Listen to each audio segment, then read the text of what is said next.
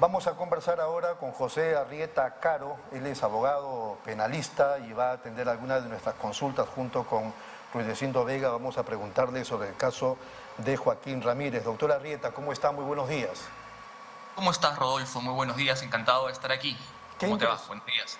¿Qué impresión general eh, tiene usted del caso de José eh, o de Joaquín Ramírez, considerando, para, mi sorpresa y seguramente de algunos televidentes, que eh, los allanamientos y las incautaciones no solamente fueron ese día que a todos llamó la atención, sino que se siguen dando en todos estos días. Creo que ayer fue en Trujillo, hoy día me parece que es en otra zona del país. ¿Qué impresión tiene?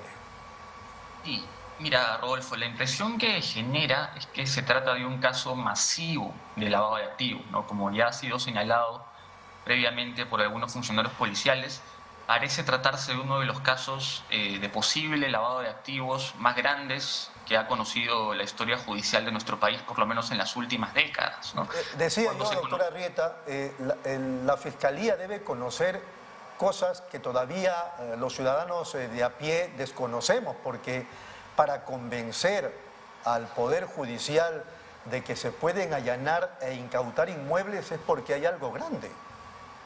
Bueno, fíjese usted, ahí hay que tomar las cosas, digamos, con cierta, con cierta calma y mesura. ¿no?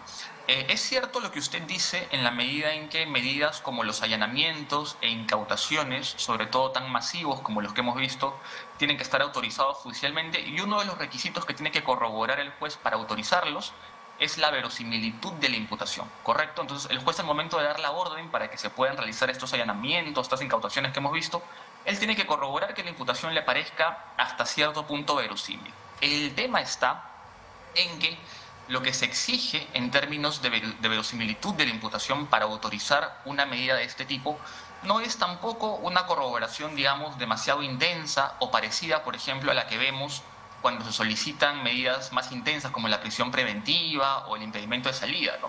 Eh, por regla general, para conseguir un allanamiento o una incautación, la ley no establece que eh, la corroboración de la suficiencia indiciaria, ¿no? lo que se conoce técnicamente como la intervención indiciaria, eh, sea demasiado intensa. Sí tiene que haber un grado, una apariencia de delictuosidad, ¿no? que aparentemente hasta este momento el juez considera que se satisface y por eso es que ha autorizado estos allanamientos estas incautaciones, pero no es tampoco que ya sea, digamos, algo eh, contundente, contundente en el momento de la investigación en el que nos encontramos, o por lo menos a partir de lo que sabemos que eh, se ha emitido en esta investigación, que es una orden de allanamiento e incautación que por definición, como le digo, no requiere un grado de corroboración de la verosimilitud de la imputación tan grande como sí sucede con otras medidas. ¿no? sí es cierto. Los delitos son por lavado de activos y defraudación tributaria. Me parece que hay un delito más. Eh, sí, fíjese usted, eh, no se ha filtrado en realidad tanta información oficial de la Fiscalía o de la carpeta fiscal como sí sucede con otros casos que uno puede de pronto revisar piezas oficiales de la investigación para corroborar eh, los delitos que se están investigando o el razonamiento judicial, pero de lo que se sabe a través de prensa, aparentemente se trataría de una investigación por lavado de activos que estaría planteando que estos activos se originan en delitos que estarían vinculados a defraudación tributaria, también se ha hablado de narcotráfico en algún momento. Entonces parece que la tesis de la Fiscalía va un poco en esa línea, ¿no? que estas empresas de fachada y estos inmuebles habrían sido usados para lavar dinero que provendría de estos delitos. La pregunta de Rudecindo Vega. No, doctor, eh, mi, mi pregunta tiene que ver, ¿esto es una investigación a una organización criminal o únicamente vinculada a Joaquín Ramírez. Digo por la forma como ha sido presentada la, denuncia, pero hoy pareciera que el lavado de activos solamente tiene que ver con Joaquín Ramírez y no con la organización criminal. Claro, mire, lo que, lo que sucede es que este es un caso en el cual efectivamente, como usted ha señalado, están investigadas varias personas que son allegadas a la familia de Joaquín Ramírez. ¿no? Están también familiares cercanos, personas que en algún momento han trabajado con él. La información de prensa que ha aparecido en diferentes medios da cuenta de que aparentemente la lógica de la Fiscalía es que habría algún tipo de eh, organización criminal operando detrás. Pero como le digo, no podemos confirmar ni descartar esta información porque como no se ha hecho público, por ejemplo, la resolución judicial que autorizaba esta medida de allanamiento e incautación, ahí debe figurar que es una imputación solamente por lavado o es también lavado con crimen organizado y otro tipo de imputaciones adicionales. ¿no?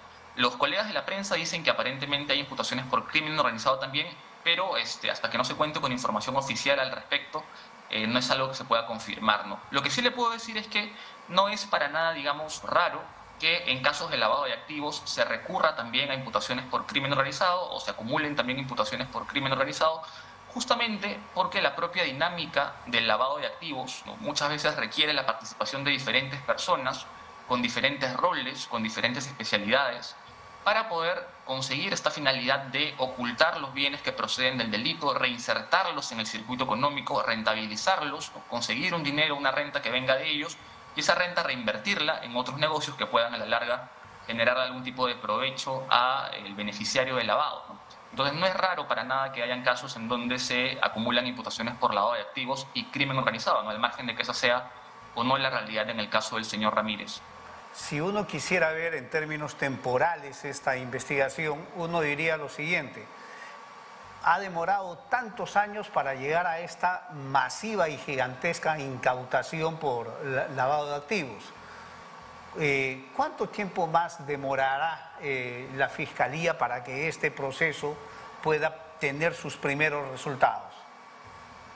Claro, mire, ese es un tema muy importante el que usted toca, porque efectivamente un reclamo, además bastante razonable, tanto de las defensas como en general de la ciudadanía, es que los procesos no se dilaten tanto. En los casos por crimen organizado, a raíz de unas decisiones que la Corte Suprema tomó hace ya varios años, las investigaciones pueden durar como mínimo, ¿no? solamente dependiendo de la voluntad del fiscal, seis años. Solamente, digamos, con el hecho de que el fiscal decida impulsar la investigación, se puede ir hasta seis años. Y después de esos seis años, si el fiscal considera que todavía hay que seguir realizando más actos de investigación o que le faltan algunas diligencias, puede pedir una prórroga. Eh, entonces, digamos, dependiendo de en qué momento de ese, de, ese interín estemos actualmente, ¿no? yo podría indicarle que faltan algunos meses o algunos años, ¿no? pero en todo caso, lo que sí le puedo decir es que estamos en investigación preparatoria y después de la investigación preparatoria todavía viene, la fase de etapa intermedia, que es la fase en la cual se va a corroborar eh, si es que el requerimiento de la Fiscalía, ya sea acusatorio o de sobreseimiento, puede ser aprobado por la Judicatura. Y eso habitualmente, sobre todo eh, Fidel, en los casos en los que este, eh, son grandes e involucran un montón de diputados, también toma varios meses, ¿no? a veces toma más de un año. Muy bien. Entonces, Sí. Doctora Arrieta, vamos a ir a una brevísima pausa y luego seguimos, por favor, en unos instantes regresamos. Volvemos.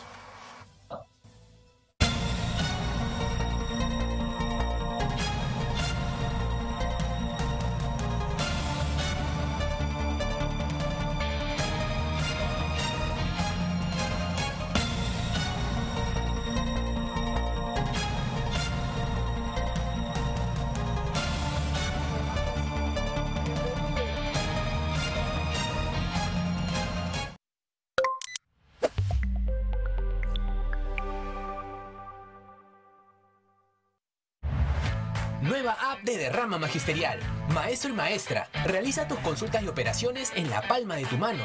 Con el nuevo app de Rama Magisterial podrás realizar tus operaciones en todo momento y desde cualquier lugar. Solicita un crédito, consulta el estado de tu cuenta individual, accede al estado de tus créditos, actualiza tus datos, accede al servicio de asesoría legal gratuita, ubica nuestras oficinas a nivel nacional. Descárgalo hoy mismo en tu Play Store. Derrama Magisterial, seguridad social para el maestro. ¿Buscas lo mejor para tu hogar? En Plaza Hogar podrás elegir, diseñar y plasmar todas tus ideas.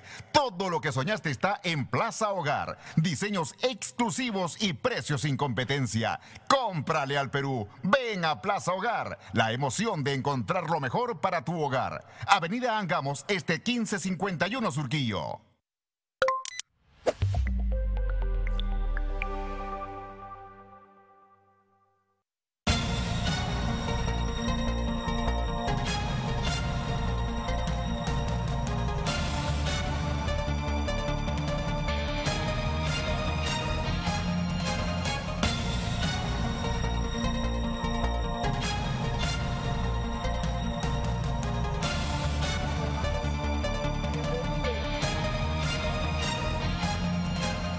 Muy bien, seguimos aquí en Nativa Nos Conecta, esto es Pulso Informativo, estamos eh, conversando con el doctor Arrieta, penalista él, Eh, las preguntas están relacionadas al tema de Joaquín Ramírez.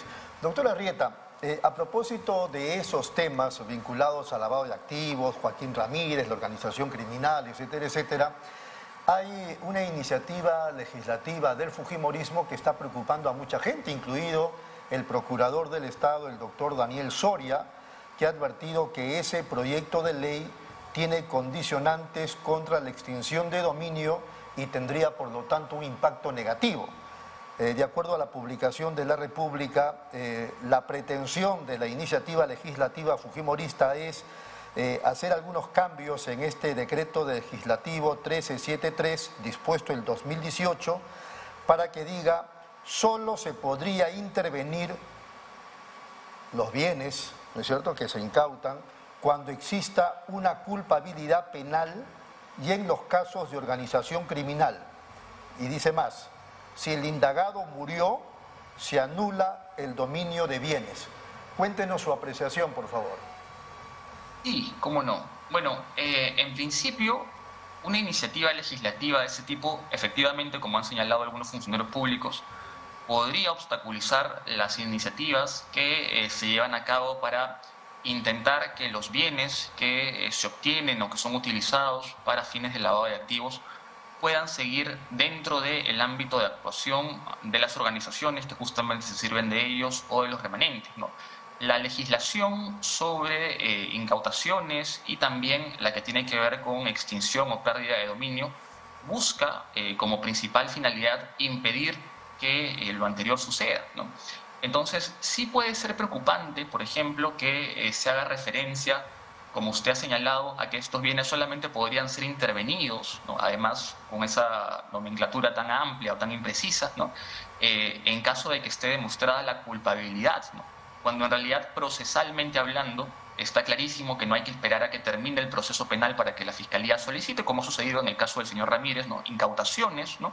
y eh, en el caso del procedimiento de extinción o pérdida de dominio, ¿no?